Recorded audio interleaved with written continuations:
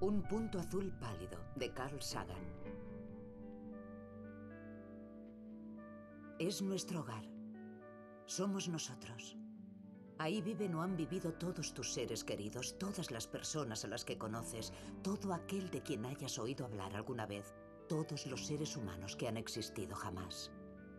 Todas las parejas de jóvenes enamorados, todas las madres y padres, todos los niños esperanzados.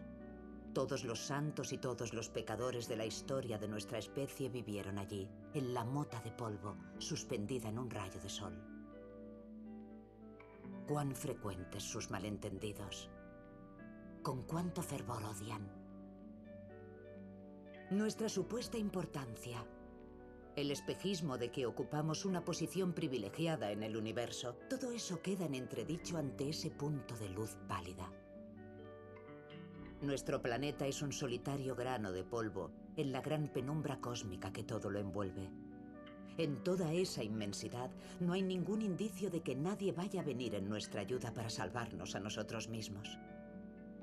Tanto si nos gusta como si no, en este momento la Tierra es donde nos vamos a quedar.